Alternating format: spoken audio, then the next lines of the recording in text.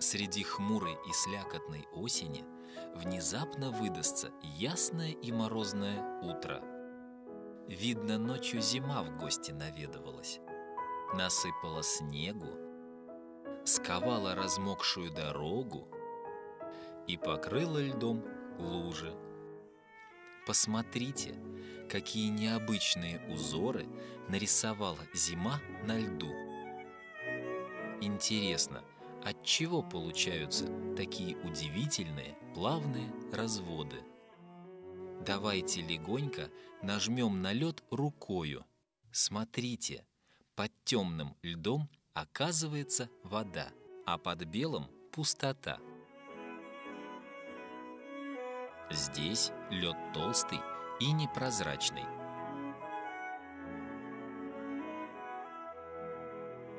Лед на лужах не всегда замерзает серебристыми изгибами. Вот у замерзшего листочка настоящая звезда с длинными прямыми лучами. Над ручейком тонкая льдинка похожа на затейливые кружева – А что это за белые иголочки выглядывают из-под льда? Так удивительно красиво вырос иней. Каждая ниточка травы покрыта сверкающими кристалликами. Такой большой иней случается редко. Обычно иней похож на частую гребенку из серебристых иголочек – они удивительно сверкают на утреннем солнце.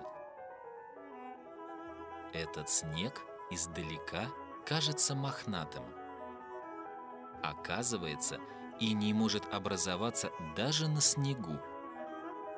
Приглядитесь, это не снежинки, а тонкие и острые кристаллики льда. В заморозке, покрытые инеем метелки злаков, светятся, словно хрустальные. Они тоже покрыты мельчайшими иголочками.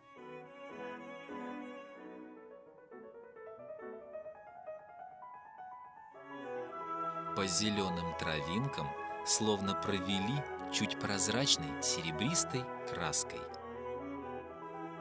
Посмотрите, обычная трава превратилась в волшебный сверкающий лес. Поднимающееся солнышко быстро нагревает землю, и сказочный мир кристаллов тает на глазах.